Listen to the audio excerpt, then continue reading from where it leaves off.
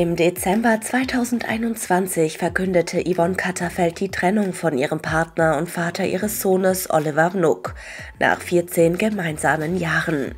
Seitdem begab sich die Musikerin auf eine Reise zu sich selbst. Sie schrieb neue Songs, in denen sie auch ihre gescheiterte Beziehung verarbeitete und sprach offen über ihre große Bühnenangst, die sie lange Zeit lähmte.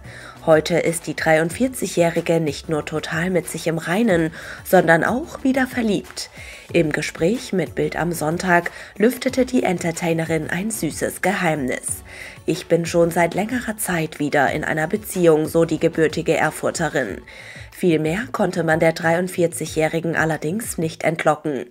Weder wollte Yvonne sagen, wer ihr neuer Partner ist, noch wie er heißt oder seit wann genau sie ihr Herz neu verschenkt hat. Tatsächlich feiert die Sängerin im Jahr 2023 nicht nur die Liebe, sondern auch den Erfolg. Denn vor genau 20 Jahren gelang ihr der musikalische Durchbruch.